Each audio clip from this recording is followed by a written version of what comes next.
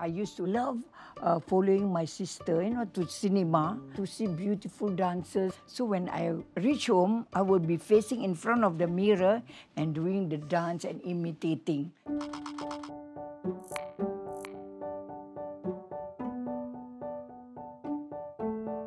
When we go for international festival and all that, food have been always uh, most important thing in our list. I heard so much about plant-based food. We know that we want to eat healthy food, but we need to know where, what, how.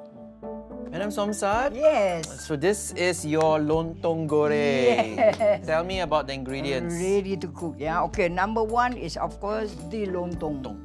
Very important. No lontong, no lontong No goreng. lontong goreng. Besides the lontong, the red chili. Yeah. So, So- now we will pound this first. And then of course the onion. And then of course the garlic. And explain to me what is this? This is a special ingredient. It's Yeah. called Yura.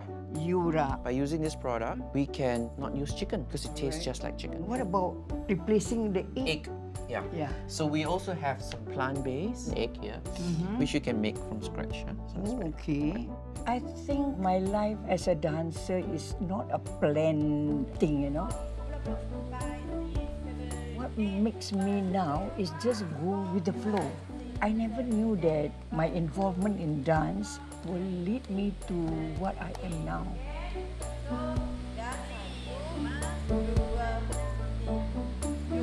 Kita fry the Onion. onion, first, ya. Okay, so Okay. masukkan, eh? Masukkan Semua, ya? semua, semua, semua.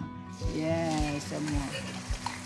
Dance in Singapore is never easy as we were all hobby based until I turned professional in 1997. But at that time, I think I was fighting alone. Everybody was saying, why I turned professional? All the while, it had been hobby, hobby, hobby. It was a gamble. I don't know whether I will make it or not. Yeah. But then I start from zero. The lontong will absorb the flavor. Yes. Wah, sedap eh. I smell. Ooh, magic pot. Your magic pot. Yes. Mm, See, it tastes like chicken. yeah. It's perfect. Yeah. I must say, my cooking is quite good. With Our- our cooking. our huh? cooking, I yeah, got it's a, good. I got a good teacher. When I learned the Malay dance from Sriwana, I know it was from Medan. But what is Malay dance in Singapore? When I was given a task to do a choreography, and what I saw at that time was what was around me, like uh, wedding, Malay wedding. Why I why are they holding the the tepak sirih, the Right. bunga mangga, the this, the that. So with that meaning, you know, it become narrative for me to create dance movements. Amazing.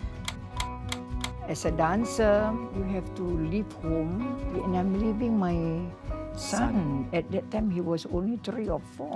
You know, it's not only by me and my husband, and of course my late mom, who helped so much. It's not an easy journey. There's ups and downs, but uh, there's no regret. What oh, is the woman feeling? power. I don't know whether to say woman power or woman struggle.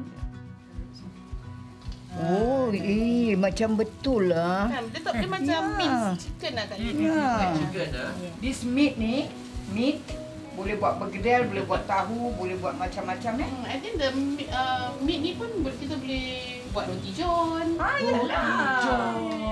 Yes, yes, yes.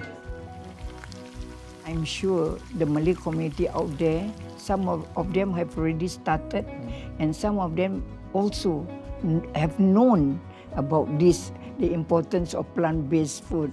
So together we Together. will move forward and do what we have to Yes. do.